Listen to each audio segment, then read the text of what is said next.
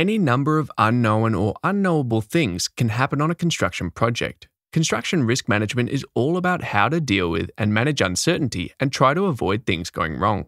This involves ensuring we deliver the project in such a way that we minimize any negative impacts to people and the environment. We want to make sure we deliver the project scope without harming anybody or anything. Construction risk management and how it impacts safety and environmental management is a unique topic because, unlike other construction management skills, like cost control, which are focused on business outcomes, safety and environmental management is an ethical responsibility. We need to ensure we keep people safe while delivering the project. Risk management is used across the project lifecycle. In the work winning phase, we will need to develop the systems and approach used to manage risk on the project. We will also undertake risk identification to properly identify all the important risks and sources of uncertainty. During the pre construction phase, we will set up these systems and processes and continue updating our risk register with all the identified risks.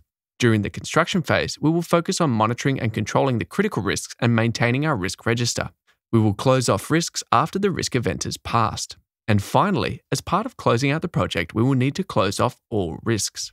The key tools and techniques used are risk identification and assessment. Comprehensive risk identification involves reviewing project plans, conducting site surveys, engaging stakeholders, and utilizing risk assessment matrices to prioritize and quantify risks.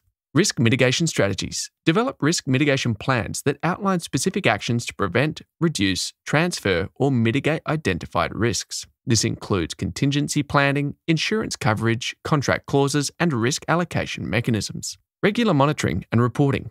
Continuously monitor and track identified risks, assessing their impact and likelihood throughout the project. Regular reporting helps stakeholders stay informed and make informed decisions. And change management. An effective change management process can help identify and manage risks associated with scope changes, design modifications, and unforeseen circumstances.